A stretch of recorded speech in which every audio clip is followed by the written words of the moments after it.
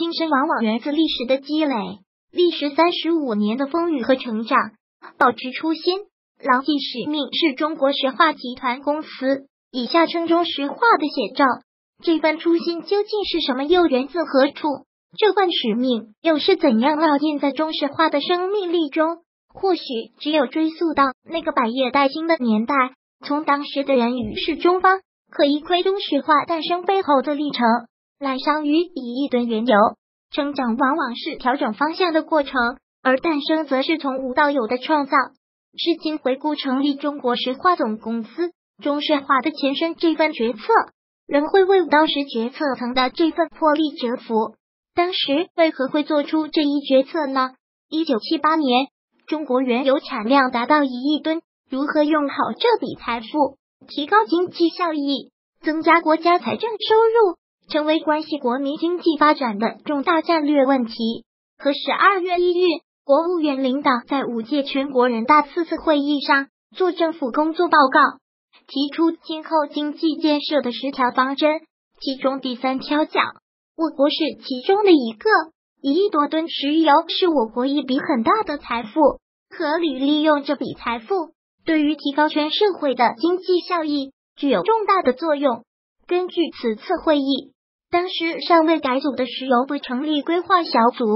着手研究用好一亿吨石油的具体规划。规划小组在分析情况后指出，每一千美元国民生产总值的耗油量，中国为零点三亿吨，印度为零点二六吨，日本为零点一七吨，日本比中国少百分之四十七。规划小组分析了造成这种状况的多方面原因。着重指出石油炼制和石油化工综合利用方面的问题，以及地区和部门分割的体制问题。经济效益同样是影响中石化总公司能否成立的重要支撑点。规划小组从生产和销售的各个环节计算，石油加工和石油化工企业联合起来，综合利用以后，国家财政增加的收入可以比一九八一年增加一百一十五亿元。一九八一年，全国的财政收入是一千一百七十五亿元，一百一十五亿元是一笔不小的数字。决策时间终于到来，国务院在讨论成立中国石化总公司时，争论非常激烈。特别是当讲到成立中国石化总公司，国家财政可以增加一百亿元的收入时，做不到的质疑声传来。当时的国务院领导同志问。这次讨论表明，当时在石油加工和石油化工企业联合起来综合利用的问题上，认识很不一致，联合工作的难度很大。高桥、金陵、抚顺等地的石油化工企业实现联合，局部改变了原有体制上的多头领导、条块分割、分散管理的弊端，初步发挥优势，经济效益提高成为最直观的表现。这几家公司的成立。为后来成立全国性的石化总公司探索出经验，在舆论上创造了积极推动的环境，史无前例的联合。文件指出，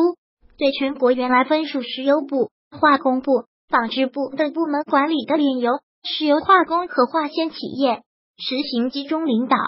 统筹规划、统一管理，对产供销、人财物、内外贸实行统一管理。三十九家企业进入购中。建立之初便面临第一步如何走的问题，打破部门、地区分割的局面，成为实践中第一个难题。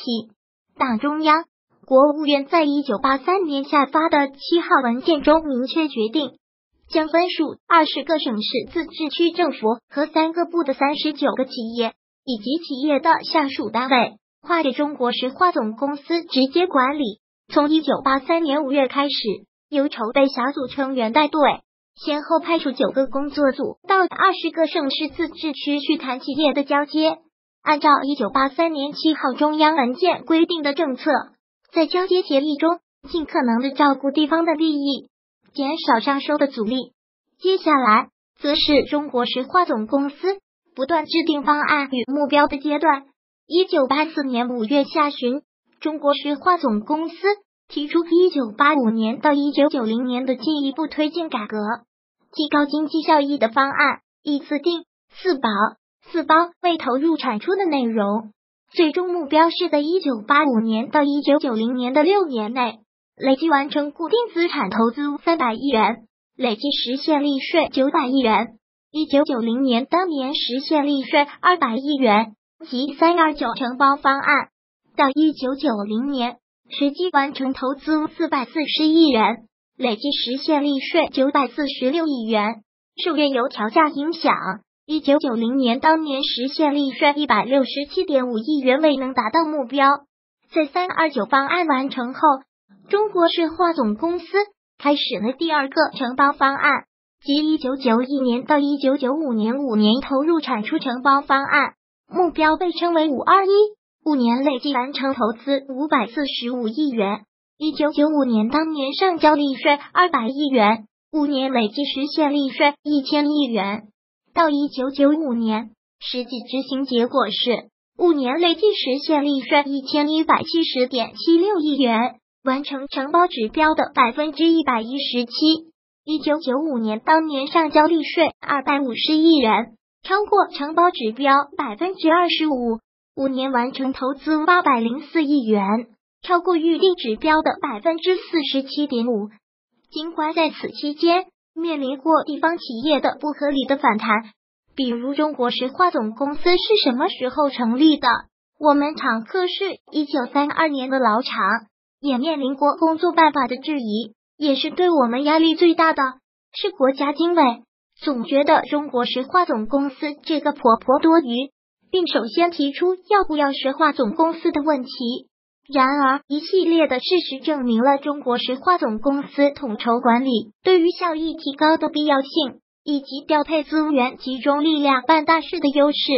改组后的中石化、原中国石油化工总公司和中国石油天然气总公司相互交换部分油田企业和炼化企业，并将原隶属地方政府的省市自治区石油公司相应地划转到两大集团公司。分别组成中国石油化工集团公司和中国石油天然气集团公司。经过这次重组，中国石油和中国石化两大集团公司分别实现了上下游、内外贸、产供销一体化，完成了产业结构的纵向一体化调整。大体上，过去中国石油天然气总公司只管油田，不管炼油和化工，上游油田处于垄断地位。中国石化总公司只管炼油和化工，中下游的炼油化工企业开垄断，两者处于非竞争关系，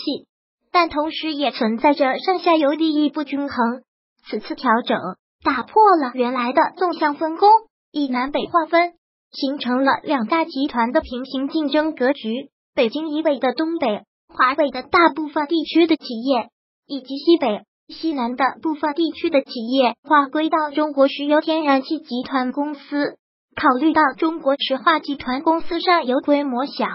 国务院于二零零零年三月决定，把分散在全国各地的中国新兴石油公司整体并入中国石化集团公司。中国石化集团公司重组后，实现了政企分开，成为一个真正的经营实体和市场竞争的主体。在接下来的发展过程中，对于中石化自身以及市场竞争的完善发挥了新的重要作用。对于中石化来讲，迅速提高了总体实力。到二零零三年末，全集团总资产五千五百九十二亿元，净资产两千六百八十一亿元，与一九九八年相比，总资产和净资产分别增长百分之三十点八、百分之四千七百零六。当天生产原油三千八百一十六万吨，天然气五十三亿立方米，加工原油一点二四亿吨，生产乙烯四百一十四点七万吨，比一九九八年分别增长百分之八点零四、百分之三十点四四、百分之五十四、百分之八十二点八六，盈利能力同样大幅提高。二零零三年全集团销售收入四千六百六十七亿元。实现利税七百零五亿元，其中实现利润二百八十九点七八亿元，销售收入、利税、利润比一九九八年分别增长百分之六十五点六、百分之六十五点零四、百分之七百三十点三二。现代企业制度由此建立，初步构建了国家控股公司管理的体制框架。在中国石化集团公司成立前后，集团公司下属的部分特大型企业相继进行了股份制改革，为后来的集团公司整体股份制改革创造条件。中国石化股份公司二零零零年十月在境外成功上市，共发行一百六十七点八亿股 H 股股票，募集资金三十四点六二亿美元。中石化自此之后。基本就是当今公众比较熟知的面貌了。And 如果喜欢本视频，请分享并订阅本频道，访问 tt news 点 xyz 获取更多相关资讯。